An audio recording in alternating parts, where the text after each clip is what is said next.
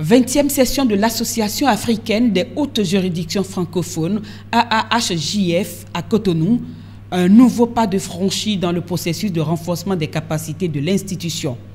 Pour son meilleur fonctionnement et conformément aux dispositions statutaires, d'importantes questions sont soumises à l'assistance.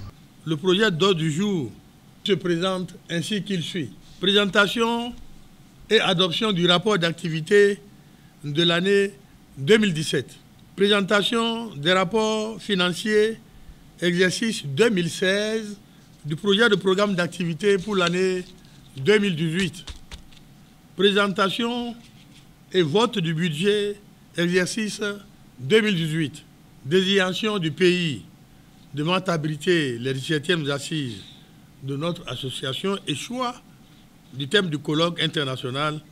Une demi-journée pour éplucher tous ces dossiers.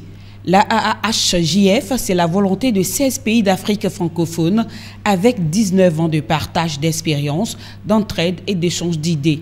Ils sont soutenus dans leurs actions par l'Organisation internationale de la francophonie. Vous êtes les vigiles et le vivier euh, de, la francophonie. Vous êtes les forces vives, en un mot, euh, les pères, les sages et en même temps les acteurs. Et euh, à ce titre, euh, c'est vous qui nous accompagnez, c'est vous qui nous éclairez, c'est vous qui nous faites l'honneur euh, de mettre euh, vos compétences, votre énergie, votre courage et votre volonté au service des, idéaux qui fondent la francophonie autour d'une langue en partage, le français.